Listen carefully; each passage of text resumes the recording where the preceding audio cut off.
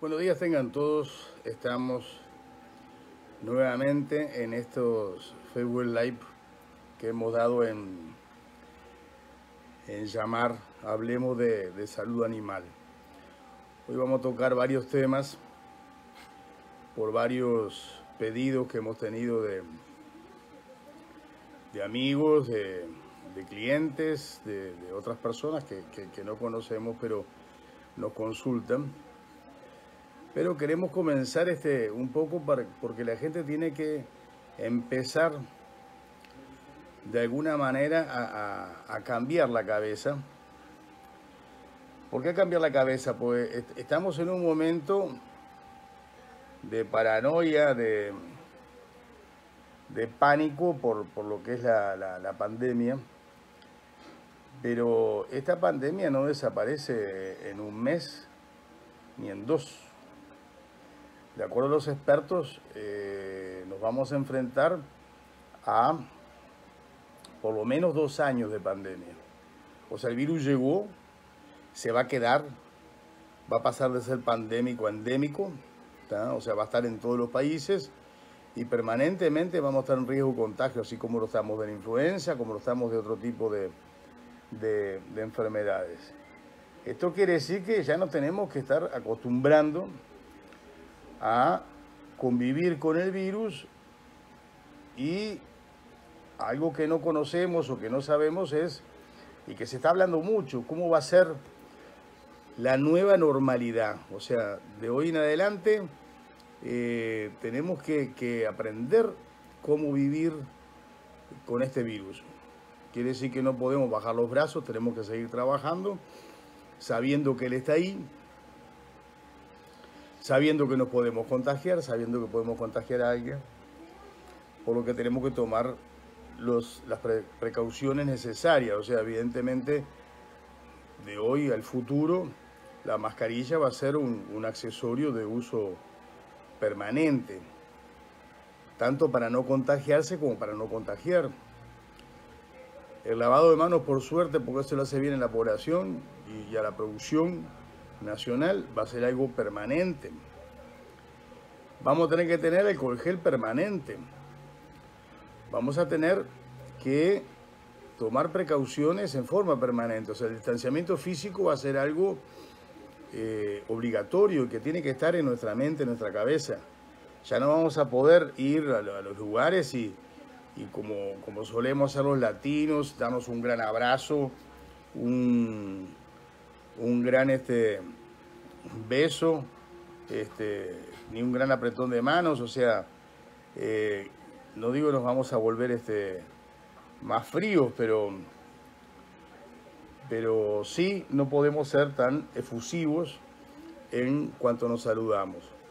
Esto quiere decir que no podemos seguir dejando, sobre todo en la, en la finca, la sanidad para más adelante porque tenemos miedo de que alguien llegue y nos contagie o, que se contagie la gente. No, hay, hay que hacer las cosas tomando las debidas precauciones. Pero bueno, teníamos algunas emergencias que nos consultaron hoy justamente que es importante, este, es importante ir, ir solucionando, eh, que es, por ejemplo, este, eh, los envenenamientos, sobre todo algo muy común porque ponemos, por ejemplo, en nuestras casas, hoy que estamos más en nuestras casas o estamos más en, nuestro, en nuestra finca, nos asusta que haya eh, tantos ratones o ratas, ponemos veneno para ratones o ratas si vienen nuestras mascotas y se lo comen. ¿Qué es lo que tenemos que hacer cuando la mascota come veneno para ratas? Se nos, interrumpió la, la comunicación un rato, son los problemas del internet que estos días ha estado como la miércoles. Mm. Ahí volvimos. Provocar el vómito es lo fundamental para que saque y expulse todo el veneno. Y jamás, jamás dar leche. Yo no sé por qué la gente eh, tiene la costumbre que un animal que está envenenado le dan leche. La leche en realidad lo que hace es acelerar la penetración del veneno, hace que el veneno entre más fácil por la grasa de la leche al cuerpo del animal y actúe más rápido. Siempre hay que, este, que provocar el vómito para que el animal pueda sacar todo el veneno. Y enseguida llevarlo a la veterinaria porque estos venenos eh, son, son sumamente eh, perjudiciales. Lo que provocan estos venenos es que el animal se golpea y empieza a, tener hemorragias, son anticoagulantes. Inclusive van a ver este, un par de días después que comió el veneno que en la piel tiene manchas violáceas típicas de, de los micro, eh, microhemorragias que se le van este, apareciendo. Por lo tanto, hay que aplicarle enseguida coagulantes para que puedan este, eh, frenar la acción del veneno. Entonces, insisto, jamás dar leche, porque eso acelera al veneno y provocarles el vómito. El vómito se lo pueden provocar, le abren la boca, le echan un puñado de sal garganta abajo y enseguida eh, vomita el animal. Inclusive es efectivo un humano. Yo tuve que hacerlo a mi hijo cuando una vuelta se comió veneno para cucarachas.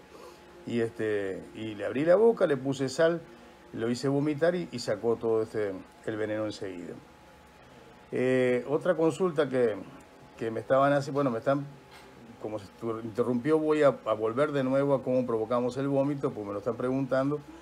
Este, es simplemente usar sal común. Agarramos un puñado, no una cucharada ni dos, un puñado de sal común en, la mano, abrimos la boca del animal y le echamos garganta abajo. Si no funciona la primera vez, la hacen una segunda vez, pero enseguida va a vomitar el, animal y va a sacar afuera eh, todo el veneno. Y ahí llevarlo a la veterinaria para que le den los coagulantes.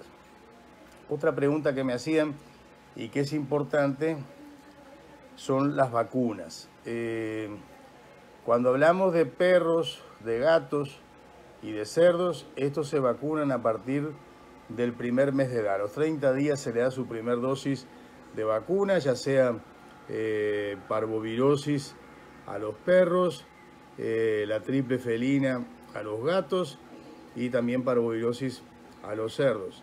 Los caballos, las vacas, las cabras y las ovejas se vacunan recién a partir de los tres meses. ¿Por qué esta diferencia? Porque los, los perros, los gatos y los cerdos tienen un metabolismo basal un poco más alto.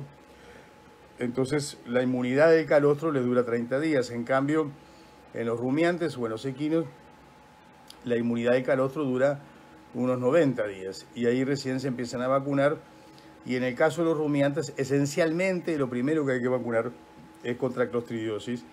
Y siempre me gusta a mí utilizar vacunas que tienen un, gran nivel de protección, por ejemplo, las vacunas que tienen 10 vías, 11 vías o 12 vías. Eh, personalmente prefiero las 11 vías, que me parece este, una de las más completas que, hay en, Nicaragua. Eh, un tema que queremos tocar e iniciar con, esto es, eh, en este momento que muchos productores están en la finca eh, y que están tratando de ver cómo mejorar las cosas, una de las cosas esenciales que hay que tener es una buena registración. ¿Qué me refiero a una buena registración? Es empezar a llevar la finca como una empresa apuntando datos que luego yo puedo interpretar y puedo eh, ver o detectar eh, si hay algún problema. Primero, para empezar la registración tengo que saber dónde estoy parado. O sea, nadie calcula en realidad eh, la capacidad de la finca. Y una de las cosas que atrasa Nicaragua con respecto a lo que son los estándares internacionales, pese a que desde el año 2004, por ley, Nicaragua ingresó al sistema MKS,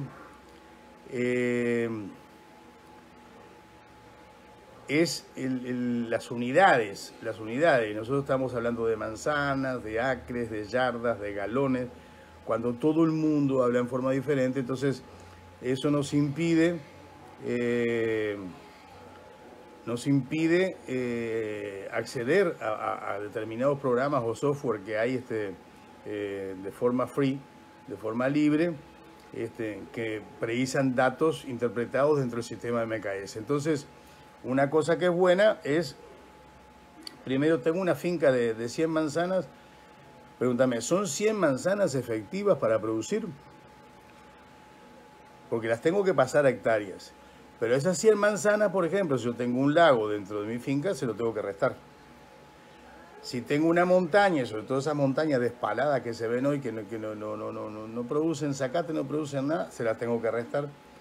Si tengo un bosque o una reserva, se lo tengo que restar para ver exactamente eh, cuánto es lo que tengo yo de finca para producir. Y eso traducirlo a hectáreas. Que es muy sencillo.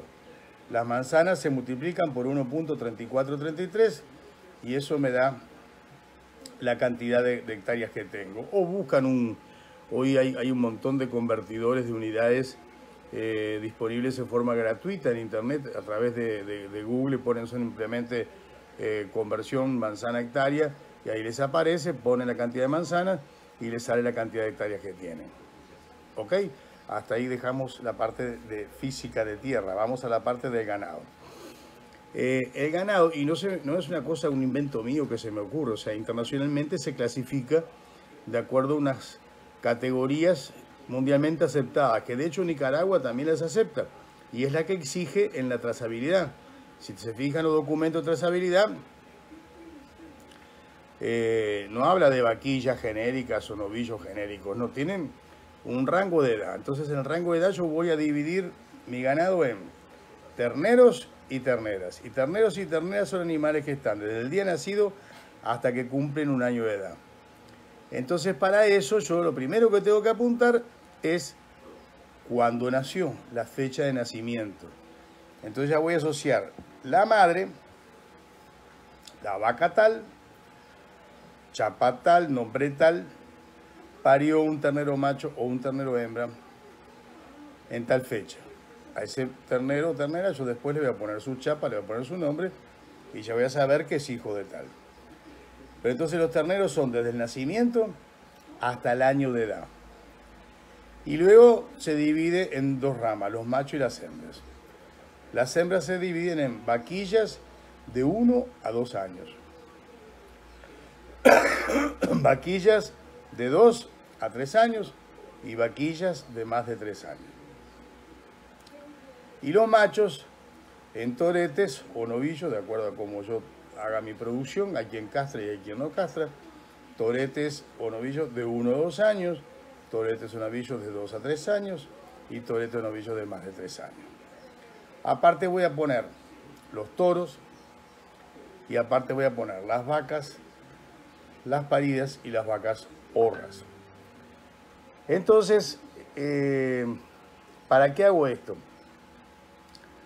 Van a ver después, inclusive los, los, los que quieran me mandan después un, un correo o un WhatsApp y les puedo proporcionar una planilla que yo tengo en Excel este, que va haciendo los cálculos por sí sola, porque cada categoría consume diferente. Entonces se considera que una vaca de 400 kilos en mantenimiento equivale a una unidad ganadera. O sea, una vaca de 400 kilos de mantenimiento en una unidad ganadera se supone que eh, vive en una hectárea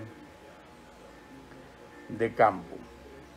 Eh, por supuesto que después, cuando nos tecnificamos, vamos a poder aumentar o disminuir la carga ganadera de acuerdo a la cantidad de alimento y calidad de alimento que proporcionemos. Y entonces de ahí, un toro eh, equivale a 1.2 unidades ganaderas.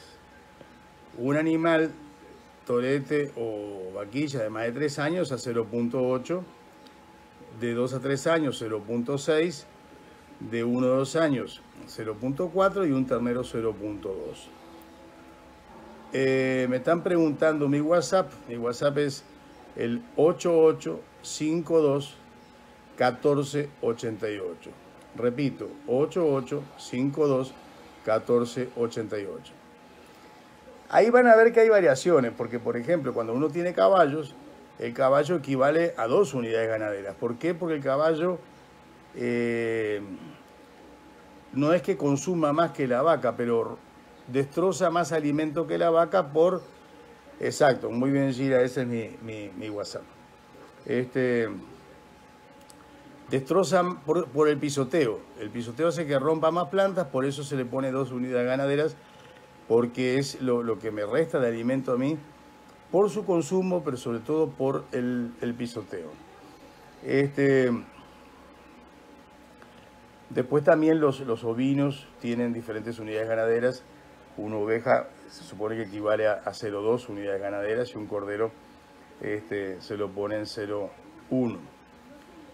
Eh, ¿Con esto qué hago? Yo tengo tantas hectáreas, entonces vamos a suponer que de las 100 manzanas pasé y, las 100 manzanas equivalen a este, 73 hectáreas, entonces en 73 hectáreas yo puedo mantener 73 unidades ganaderas.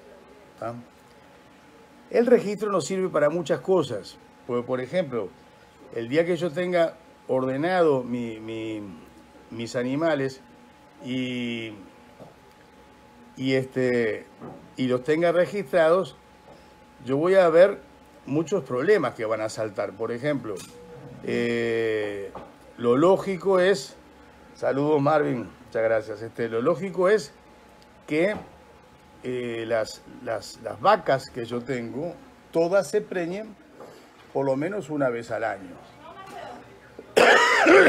Biológicamente eso es imposible, pero por lo menos mantener una preñez de un 85%.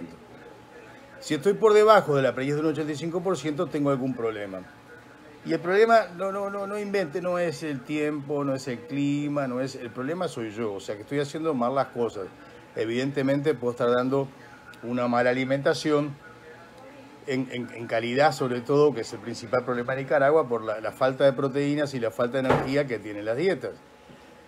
Si me parecen a mí, como muchas fincas que vamos, vaquillas de cuatro años, que no, o más de cuatro años, y que le siguen diciendo vaquilla, y no han parido nunca, ni se han preñado nunca, esos animales los tengo que sacar. Pero aparte de sacarlo porque son improductivos, me están diciendo de que algo no estoy haciendo bien. No estoy manejando bien las cosas, ya sea desde el punto de vista sanitario, del punto de vista nutricional, o de ambos puntos, o, o del punto de vista reproductivo. Recuerden cuando hablamos de los toros que hay casi un 30% de toros que no son aptos para reproducción en el país y que se están usando. Entonces, desde la registración, yo voy sacando datos importantísimos. Puedo detectar animales improductivos. Si le agrego la registración, por ejemplo, que el mandador me apunte la, fecha que se le monta cada vaca o que entra en celo cada vaca, eh, voy a ver si tengo problemas en el ciclo, si tengo vacas repetidoras, eh, y lo voy a ver con certeza y voy a estudiar el, intervalo que hay entre celo y celo para ver si hay un problema en la vaca, un problema en el toro, un problema en el sistema o un problema eh, de manejo. Voy a apuntar, como hemos dicho, las fechas de parto y voy a apuntar la próxima fecha de parto y voy a estudiar el intervalo interparto. O sea, la idea es que una vaca pueda tener un ternero por año. Y esto casi no se cumple porque estamos acá en un promedio de preñez de un 35-40% anual, que es muy bajo y el productor se, acostumbra a que la vaca para un año sí, un año no, lo que es totalmente improductivo. O sea, evidentemente yo estoy perdiendo dinero con esto, porque la vaca no parir no, no me da leche, pierdo leche, tengo animales improductivos, no estoy teniendo la cantidad de terneros que preciso, como para presupuestarme y poder eh, trabajar. Este, quiere decir que la registración es fundamental.